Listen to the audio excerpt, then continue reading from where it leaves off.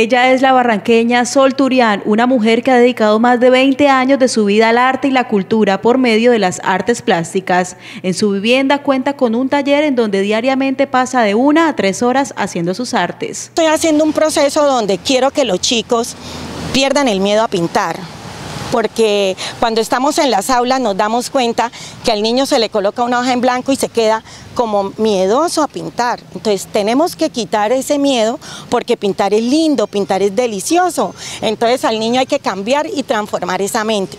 Actualmente el artista Sol Turián lidera el proyecto Pinta tu mascota en el espacio cultural Arte al Parque, donde niños y jóvenes aprovechan sus tiempos libres pintando.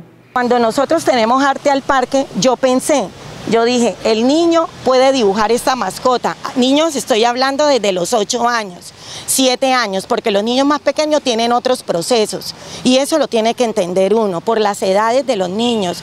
Cada uno tiene sus procesos muy diversos, muy distintos. Entonces hay que tener ese, ese, ese conocimiento para que el niño lo podamos enfocar y encaminar bien dentro de las propuestas artísticas. Vamos a todos los chiquiticos, 7, 8 años, porque tenemos estas propuestas y también modelamos tu mascota. O sea, hay niños que dicen, ay, pero mi mascotica se murió. No, aquí la podemos hacer personalizada y se lleva su obra de su mascota o se lleva su recordatorio de la mascota. Solturiana aspira a seguir trabajando en materia artística y de este modo aportar sus conocimientos a los que deseen aprender técnicas al pintar cuadros y objetos.